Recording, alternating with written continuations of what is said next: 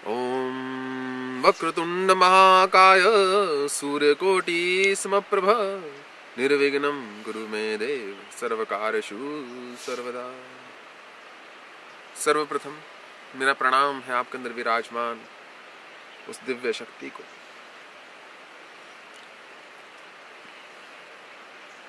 दत्तमिति यद्दानम देते अनुपकारिणे, देशे काले च पात्रे च तद्दानम विधि सात्विकम स्मृतम। श्री कृष्ण ने अर्जुन को तीन प्रकार का दान बताया है। प्रथम, वो दान जो सात्विक है। द्वितीय, वो दान जो राजसी है। तथा अंतिम तृतीय, वो दान जो तामसी है। सात्विक दान से मनुष्य मुक्ति की ओर बढ़ता है। राजसी दान से मनुष्य बंधन में पड़ता है। और तामसी दान से मनुष्य नीचे की ओर भी जा सकता है। अधोगति की ओर जा सकता है।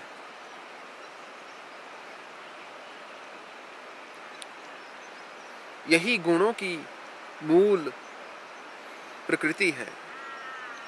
सात्विक गुण मनुष्य को सुख और शांति और ज्ञान की अनुभूति देता हुआ मुक्ति की ओर लेकर जाता है। राजसी उसको बांधा है, बांधता है। और तामसी उसको अधोगति में लेकर जाता है। जघन्य गुण प्रतिष्ठा नीचे की ओर लेकर जाता है। तो वो दान जो बिना किसी आकांक्षा के दिया गया हो दात्यमिति यद दानम दिए थे अनुपकारिणे। परोपकार में हो, बिना किसी आकांक्षा के हो, देश काल तथा पात्र को देखकर जो दान दिया जाता है,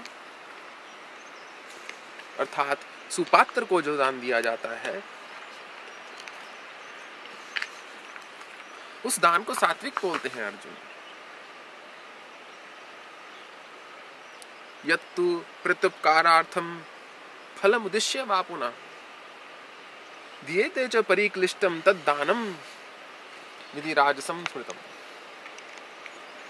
तद्दानम राजसम स्मृतम वो दान जो उपकार के बदले में दिया जाता है। किसी ने आप पर उपकार किया, किसी ने आप पर कृपा की, किसी ने आपकी सहायता की, किसी ने आपकी मदद की उसके बदले में जो दान आप करते हैं, उसके बदले में जो परोपकार आप करते हैं, यत्तु प्रत्युपकारार्थम। प्रत्युपकार जो करते हैं, कि किसी ने मुझ पर उपकार किया, इसलिए मैं दूसरे पर उपकार करूँगा। या फल की इच्छा से जो दान दिया जाता है, कि मैं दान दे रहा हूँ, इससे मेरे पाप कट जाए, या इससे मुझे सुख की प्राप्ति हो, या इससे मुझे मान मिले, या प्रतिष्ठा मिले, या मेरा नाम हो दे च परिक्लिष्टम। तथा वो दान जिसमें कलेश हो। आप चाह रहे हो कि आप दान दो।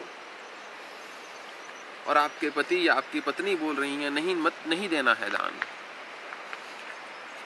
दान जिसमें कलेश हो, जिसमें अज्ञान हो, जो जो फल की इच्छा से दिया गया हो, या प्रत्यु या उपकार के बदले में दिया गया हो। वो दान तो राजसी दान है।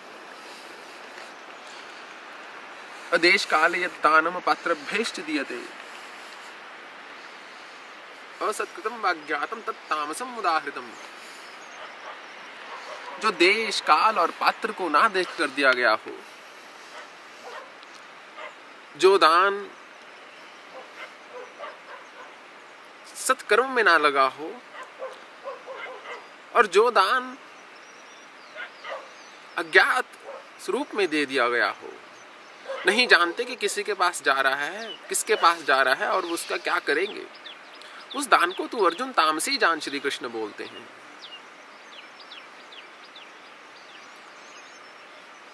वास्तव में ही देखा जाए तो एक विचार करने योग्य बात है।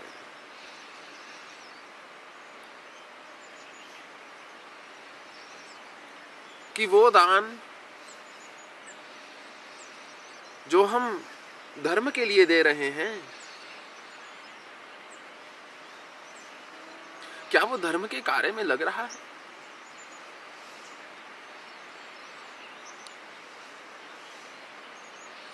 यदि वो धर्म के कार्य में नहीं लग रहा तो क्या आपके दान का उतना ही महत्व हुआ जितना कि वो यदि धर्म के कार्य में लगता तो?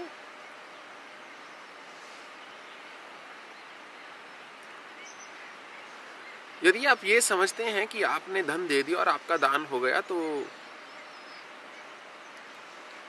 ये एक अज्ञानता वाली बात हो जाती है। यदि आपको दान देना ही है तो दान के साथ थोड़ा सा परिश्रम करना सीखिए। धन की तीन गति बताई गई है शास्त्रों में। जिस प्रकार चंद्रमा की षोडश कलाएँ हैं धन की तीन है।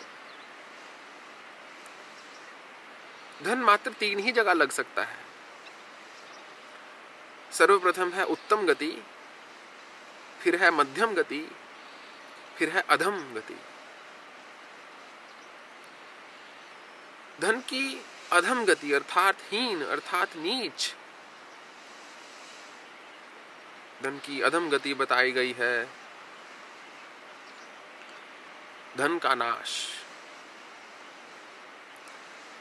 जब व्यक्ति का धन, रोग या औषधियों को लेने में खर्च होता है, जब उसका धन नशे, चाहे वो मदिरा का हो, चाहे वो सिगरेट का हो, तंबाकू का हो, किसी भी प्रकार का नशे में जब व्यर्थ होता है तो वो भी धन का नाश है, वो धन की अधम गति है। जब किसी का धन वेश्या घर में या जुए घर में खत्म हो जाता है, वो भी धन का नाश है। ऐसा धन किसी को नहीं फलता। देने वाले को तो धन का नाश हो ही गया। परंतु उसको मन की शांति भी नहीं प्राप्त होगी, ऐसे धन की गति में।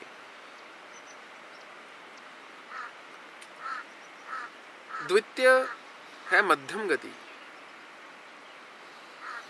वो गति जिसमें धन का नाश नहीं और दान भी नहीं। ठीक है, यदि नाश से बचा लिया, बहुत अच्छा। यदि दान नहीं कर रहे तो कम से कम अपने भोग के लिए तो उस धन का इस्तेमाल कर लो। ये धन की मध्यम गति है। भोग। जब व्यक्ति स्वयं के सुख के लिए धन का प्रयोग कर रहा है, स्वयं के परिवार के सुख के लिए, अपनों के सुख के लिए तो वो धन का भोग है, वो धन की मध्यम गति है। कम से कम थोड़े समय के लिए ही सही, किसी को सुख तो प्राप्त हो रहा है। धन के नाश करने से तो ये उत्तम ही है।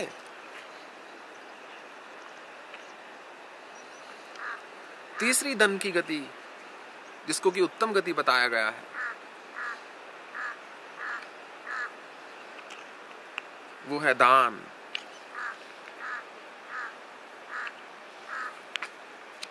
जब आप दान करते हैं तो धन फलता है।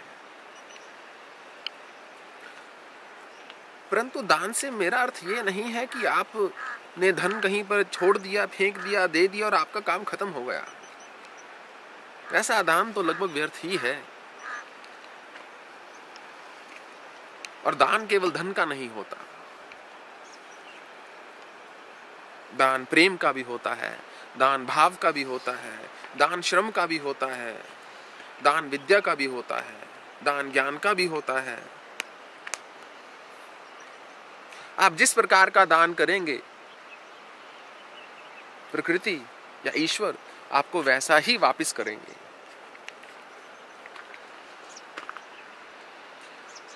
तो यदि आप धनी हैं और केवल धन का दान कर रहे हैं तो इससे ये आवश्यक नहीं है कि आपको सुख की प्राप्ति भी होगी। इससे ये आवश्यक नहीं है कि आपको शांति की प्राप्ति भी होगी। हाँ, एक चीज़ इससे निश्चित रूप से होगी। वो है कि आपके धन में एक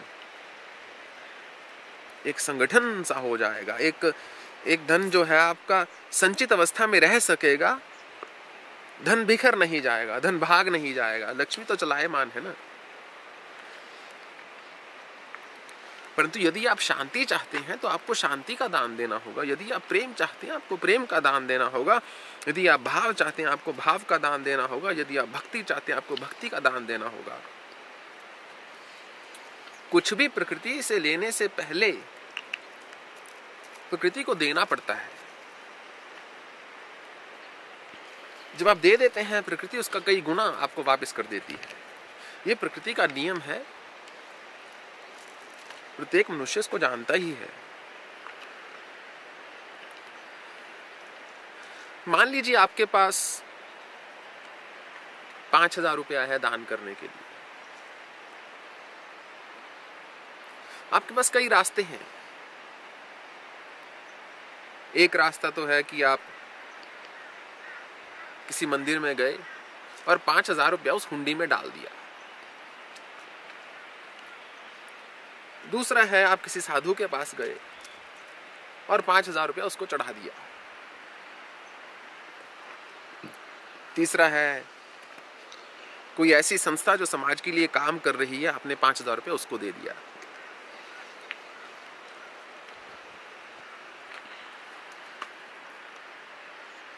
तो तीनों में से कौन सा दान उत्तम है?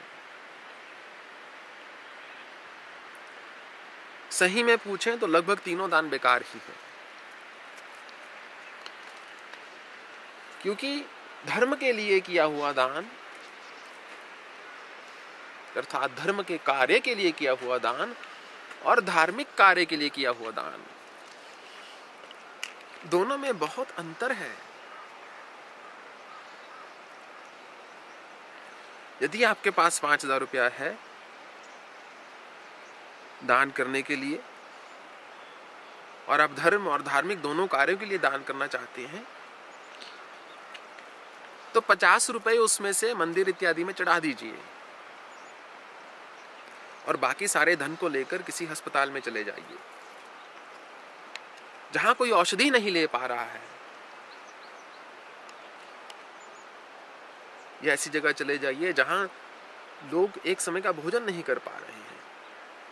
पाँच हज़ार रुपए से आप उनका जीवन पर्यंत की भूख नहीं मिटा सकोगे, परंतु यदि पाँच हज़ार आप जैसे लोग इकट्ठे हो जाएँ तो क्या नहीं हो सकता? तो दान के साथ एक परिश्रम कीजिए। जाइए किसी गाँव में, एक स्कूल में जाइए और वहाँ पर सौ बच्चों को साइकिल दे दीजिए नया। आने वाली तीन पुश्तों साइकिल को चलाएँगे और आपको याद रखेंगे। किसी अस्पताल में जाइए, बाहर बाहर टेबल लगाकर बैठ जाइए। सरकारी अस्पताल में। देखेंगे वहाँ कितने लोग आ रहे हैं जो अपना ऑपरेशन नहीं करा सकते, अपना इलाज नहीं करा सकते, औषधि नहीं खरीद सकते, दवाइयाँ नहीं खरीद सकते डॉक्टर से बात नहीं कर सकते, कोई टेस्ट नहीं करा सकते। जाइए वहाँ जाकर दान दीजिए। उस दान के साथ एक ऐसी चीज़ होगी जो साधु के पास देने से नहीं होगी आपको। साधु को पैसे की आवश्यकता? साधु को पैसा मत दो। उसको दाल रोटी दो, उसको आटा चावल दो, उसको धन मत दो। धन से साधु दूषित हो जाता है।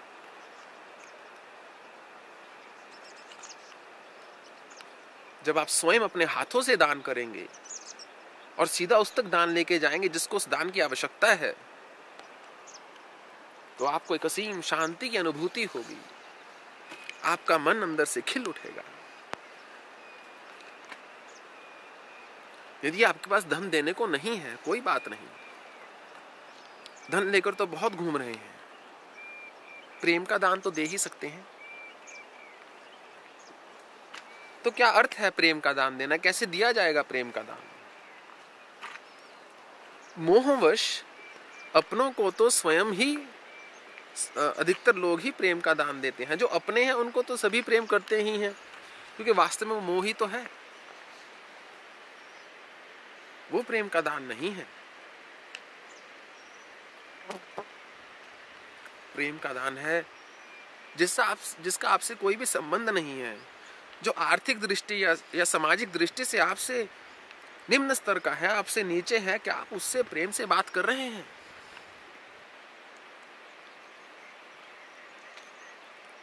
एक बार मैंने कहीं सुना था कि व्यक्ति की पहचान होती है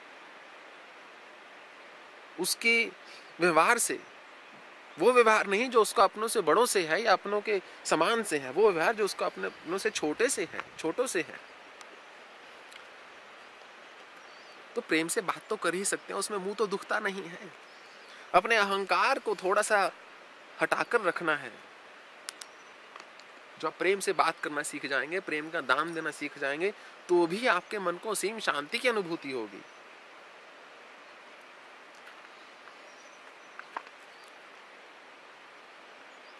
तो प्रेम का दान कैसे दिया जा सकता है? मान लीजिए आप अपने जीवन में एक संकल्प ले लेते हैं कि अगले 20 दिन, अगले 40 दिन, अगले तीन महीने, अगले सात दिन, या मात्र अगले दो दिन, या एक दिन, या सात घंटे, मुझसे कोई कैसे भी बात करे, मैं उससे प्रेम से ही बात करूँगा। बहुत बार मैंने लोगों को कहते हुए सुना है कि भारत में ये चीज़ नहीं चलती। यदि काम पर जाकर आप प्रेम से बात करो तो लोग काम ही नहीं करते। परंतु मैंने ऐसा कभी नहीं पाया। इसके विपरीत मैंने तो ये जाना है, जब आप प्रेम से बात करते हैं तो आप जितना चाहे काम ले सकते हैं। वो जो कल तक आपके लिए काम करने को तैयार नहीं थे, आज आपके लिए मरने को तैयार हो जाएँगे। तो आपको कोई कैसी ही भावना क्यों ना दे, कैसे ही शब्द क्यों ना दे, चाहे वो क्रोध युक्त हो, चाहे असत्य हो, चाहे अप्रिय हो, चाहे कटु हो, आप उनको केवल एक ही भावना वापिस कीजिए, वो है प्रेम। यह है प्रेम का दान।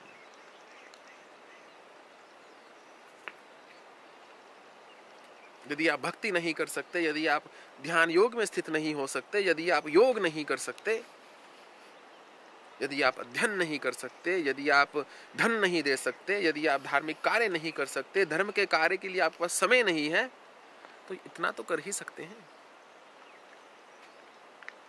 दफ्तर में जो आपके लिए पानी लाता है, जो आपके लिए भोजन ला रहा है, जो आपके लिए चाय ला रहा है, या जो आपकी गाड़ी चला रहा है, या सड़क पर चलता हुआ कोई भी व्यक्ति, एक दुकानदार एक दुकानदार के के दुकान में एक नौकर। उसके अंदर प्रेम, उसके साथ प्रेम से बात कीजिए, उसके अंदर, उसके भीतर विराजमान उस ईश्वर को देखने का प्रयत्न तो कीजिए। मंदिर में मूर्ति है पत्थर की। आपसे कोई बात नहीं कर रही, आप उसको बोलते हैं, मैं कष्ट में हूँ, आके आपको आलिंगन नहीं कर रही है, आप उसको भोग लगा रहे हो आपका भोग नहीं ले रही है, परंतु उसको आप बहुत इज़्ज़त दे रहे हैं। उसके आगे धन चढ़ा रहे हैं, वस्त्र चढ़ा रहे हैं, रत्न चढ़ा रहे हैं, आभूषण चढ़ा रहे हैं, फल चढ़ा रहे हैं, फूल चढ़ा रहे हैं। परंतु एक जीवित ईश्वर जो किसी, एक जीवित व्यक्ति के अंदर विराजमान है, जो कष्ट में है, वो आपको दिख नहीं रहा। जब तक तो उसको प्रेम का दान नहीं देंगे तो ईश्वर कहाँ से प्रकट हो जाएगा? क्या करोगे मंदिर में पैसे डालकर? क्या करोगे साधु को दान देकर? ऐसे साधु को दान देकर क्या करोगे? जिसको बड़ी बड़ी गाड़ियाँ लेनी है, जिसको कई सारे आश्रम बनाने हैं, जिसको अपनी बहुत बड़ी व्यवस्था बनानी है। आप देखिए तो सही एक क्षण के लिए सोचे तो सही आपका धन कहाँ जा रहा है? एक डिस्पेंसरी खोलिए, जाइए, एक एक हॉस्पिटल में जाकर पैसा दीजिए, किसी स्कूल में जाकर दीजिए, किसी को किताबें लेकर दीजिए, किसी की फ़ीस दीजिए, किसी का स्कॉलरशिप लगा दीजिए, छात्रवृत्ति लगा दीजिए। तो उसको दान कहा जाएगा, उसको दान माना जाएगा, उसमें दान का अर्थ आपको समझ में आएगा। जो आपके पास प्रचुर मात्रा में है उसमें से थोड़ा सा निकाल के दे दे तो क्या बात है? कोई बड़ी बात थोड़े ना यदि आपको क्रोध आता है तो प्रेम का दान देना सीखिए, क्योंकि जो नहीं है आपके भीतर, उसको भीतर से बाहर लाना है। अपने प्रेम को जागृत कीजिए, अपने भाव को जागृत कीजिए। किसी गाय को, किसी कुत्ते को, किसी पक्षी को, किसी को प्यार से सहलाइए। किसी व्यक्ति को जिसको आवश्यकता है उसको बोली, चिंता मत कर, सब ठीक हो जाएगा। उससे आपकी स्वयं की चेतना को बल मिलेगा। उससे आप स्वयं दृढ़ हो जाओगे। धन तो आजकल सबको ही दे रहा है। बैंक में जाओ तो जितना मर्ज़ी लोन लेते रहो। तो प्रेम का दान देना सीखिए।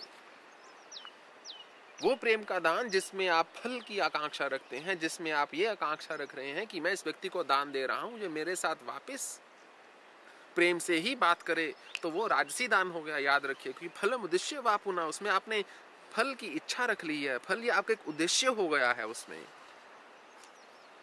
उस दान का लाभ नहीं है, कम है, आप तुरंत बंद गए, आकांक्षा में बंद गए कि अब ये मुझसे भी प्रेम से बात करे।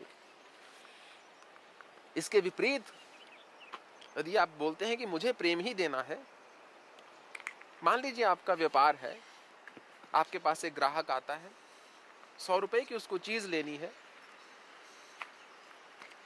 वो आपसे प्रेम से बात नहीं करता, आदर से बात नहीं करता, सौ रुपया से फेंक कर चीज़ देने की बात करता है।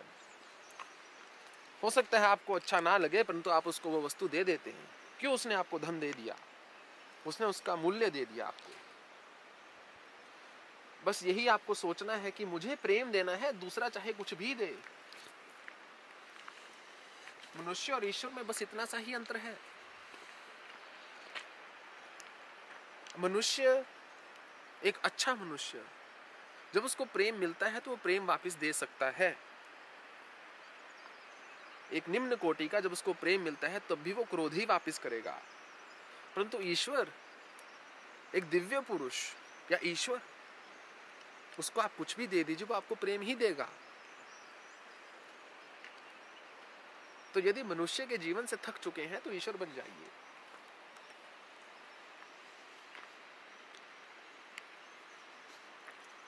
वो ईश्वर जिनके पास सब कुछ है, वो भी तो प्रेम के भाव में ही तो बंधे हुए हैं, भक्ति के भाव में ही तो बंधे हुए हैं। भक्ति प्रिया, भक्ति गम्या, भक्ति वशा व्यापहा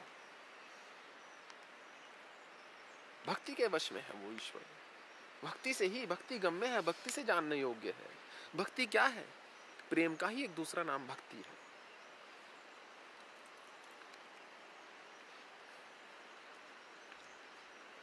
जो भुक्ति से परे हट चुका है, जो भोग से परे हट चुका है, जो भाव में दृढ़ हो चुका है, वही तो भक्त है।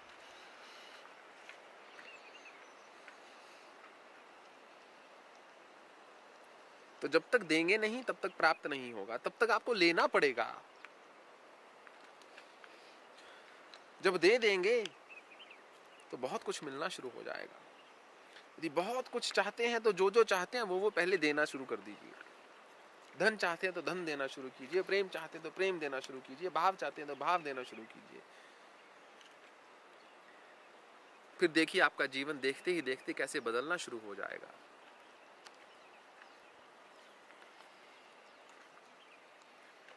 बस आज के लिए मुझे यही बोलना था दान के ऊपर कि दान दीजिए, परंतु कायदे से दीजिए, ढंग से दीजिए, सोच विचार कर दीजिए, एक पात्र को दीजिए, उसको दीजिए जिसको आवश्यकता है। एक मुझे चलते चलते एक बात याद आ गई जो मैं अक्सर बोलता हूँ कि अपना धन उसको दीजिए जिसको नितांत आवश्यकता है। अपना प्रेम उसको दीजिए जो उसकी कदर करेगा, जो उसको चाहता है। अपनी सलाह, अपना ज्ञान उसको दीजिए जो मांग रहा है। जो मांग नहीं रहा उसको देंगे, कोई कदर नहीं है उसकी।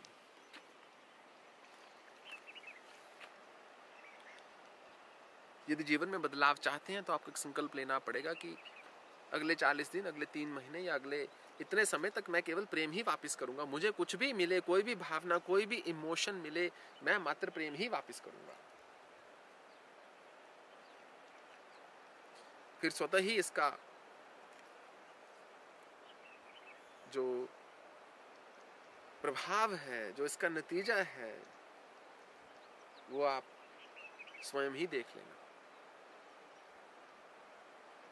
ओम पूर्णमदः पूर्णमिदं पूर्णात् पूर्णमुदच्यते पूर्णस्य पूर्णमादाय पूर्णमेवावशिष्यते। ॐ हरि ओं, तत्सत् हरि ओं, तत्सत् हरि